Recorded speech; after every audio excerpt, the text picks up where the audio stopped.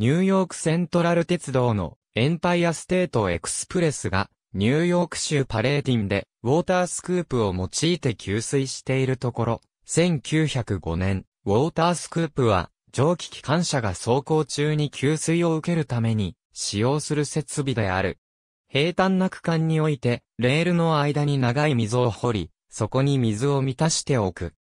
蒸気機関車がここを通過するときに装備しているウォータースクープを下ろすと、機関車が走っている勢いで、水がスクープに流れ込み、淡水車の水タンクに入る仕組みになっている。地上側の水を溜めておく、溝のことを、アメリカ英語では、トラックパン、イギリス英語では、ウォータートラフと称した。蒸気機関車は走行するために、かなりの量の水を消費する。天打機関車の場合は、淡水車に、タンク機関車の場合は、機関車本体の水タンクに水を貯蔵しているが、運行中に定期的に水を補給する必要がある。長距離にわたってノンストップの列車を運行しようとする場合は、走行中に給水する手段が必要となる。ビクトリア朝時代の機関車技術者であったジョン・ラムズ・ボトムは、この要求に応えるためにウォータースクープの仕組みを考え出した。ウォータートラフは、レールの間に数百ヤードにわたって浅く掘られる。通過する列車が水を消費していくので、近くに水の補給源が必要である。この設備は全体にわたって平坦な区間に設置する必要がある。十分に水を補給するためには、ある程度の速度で列車が走っている必要があるので、停車駅との距離が十分あることが必要である。初めてこの設備が設置されたのは、ロンドンノースウェスタン鉄道のノースウェールズコースト線のモホドレで、1860年10月のことであった。ウォータースクープは、淡水車の下部、または、タンク機関車の場合は、機関車自体の下部に取り付けられる。ネジを巻く仕組みか、あるいは、圧縮空気による気候で、上げ下げできるようになっている。ウォータースクープは、水タンク内のパイプにつながっており、タンクに水を流し込むようになっている。イギリスの蒸気機関車などを見ると、テンダーにラクダのコブのようなものがある車両があるが、これは、こうした給水用のサイフォンチューブのカバーである。タンク内の空気が抜けていくように、水タンクは換気が可能な構造にする必要がある。アメリカのノーフォークウェスタン鉄道は、トラックパンを使用しない方法を考案した。上り勾配の中には、ある程度勢いをつけて登らなければならないものがある。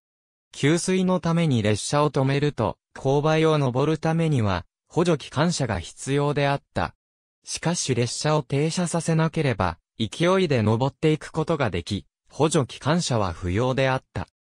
このことから、ノーフォークウェスタン鉄道では補助の水タンク車を連結して大量の水を携行することで給水のために列車を止める必要をなくし、補助機関車の連結を不要にした。この結果として、補助機関車用の機関区を廃止することができた。日本においても、第二次世界大戦前に超特急、N を運転するに際して、ウォータースクープの利用が検討された。しかし結局これは採用されず、水タンク車を連結して解決することになった。日本の鉄道では、ウォータースクープの利用例はない。ウォータースクープで給水すると、その後部にかなりの水しぶきが飛ぶ。これにより、先頭に近い客車の乗客に水がかかる恐れがあり、イギリスでは車掌が先頭車両の乗客に窓を閉めるように案内することになっていた。ロンドンミッドランドスコティッシュ鉄道では、流線型のコロネーションクラス蒸気機関車が対向列車として同時にウォータートラフ区間に入ったことがあった。水しぶきにより淡水車の石炭が飛ばされて対向列車の窓ガラスが割れ、びしょびしょになった乗客から苦情が来ることになってしまった。このため、鉄道会社ではダイヤを変更して、同時に、ウォータートラフに対向列車が侵入しないようにした。ウォータースクープの操作は、正しい場所で行う必要がある。ウォータートラフの始まる、少し後に下ろし、タンクが一杯になるか、ウォータートラフの終わる少し手前で上げなければならない。タンクの水がいっぱいになったのに上げずにいると、溢れた水が運転台に流れ込んでしまい、時には石炭を投じるためのシャベルを押し流して、運行不能に陥ってしまうこともあった。線路脇に標識が立てられており、乗務員にウォータースクープの上げ下げの場所を示していた。イギリスでは、大きな白い長方形の標識に波線が入った標識であった。アメリカでは、夜間の使用に備えて照明付きの標識が使用されていた。水を大量に撒き散らすと、補線の問題がある。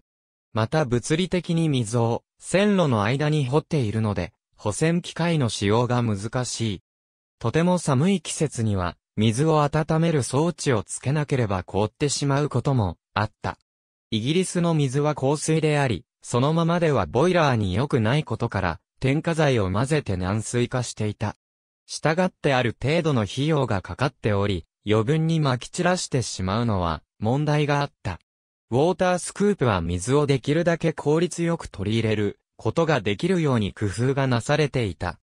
ウォータートラフは一度使用すると水を再び溜めるのにしばらく時間がかかった。このため列車同士があまりに接近していると使うことができなかった。また、設備が高価であり、ポンプを配置し複雑な配管を行い、保守するための人員を配置しなければならなかった。このため、ある程度の交通量のある路線のみに設置された。アメリカ合衆国では、東部の大鉄道会社のみ、これを使用し、特に使用していたのは、ニューヨークセントラル鉄道とペンシルバニア鉄道であった。イギリスでは、ほとんどの路線で見られたが、サザン鉄道では使用していなかった。このため、イギリスの蒸気機関車の淡水車は一般に小型であったのに対して、サザン鉄道だけは大型の淡水車を装備していた。イギリス国鉄は1950年代からディーゼル機関車の導入を開始したが、1968年まで蒸気機関車と併用されていた。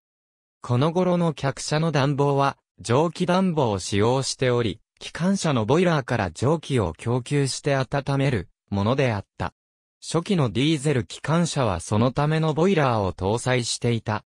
長距離のノンストップ走行を想定していたディーゼル機関車はウォータースクープを装備しており、蒸気発生装置で使用する水をウォータートラフから補給できるようになっていた。蒸気機関車がなくなり、電気暖房を装備した車両が導入されるようになると、ウォータースクープの必要はなくなり、こうした車両からも撤去された。グレートウェスタン鉄道で1930年代のウォータートラフ設置状況を示した地図が再刊されている。これによれば、設置間隔は40から50マイルおきであったが、ばらつきがかなりある。ブリストルテンプルミーズ駅からわずか2マイルのセントアンズパークに設置されているなど、大きな駅からすぐそばに設置されている例もあった。ウォータートラフの長さも示されており、524から620ヤードであった。ありがとうございます。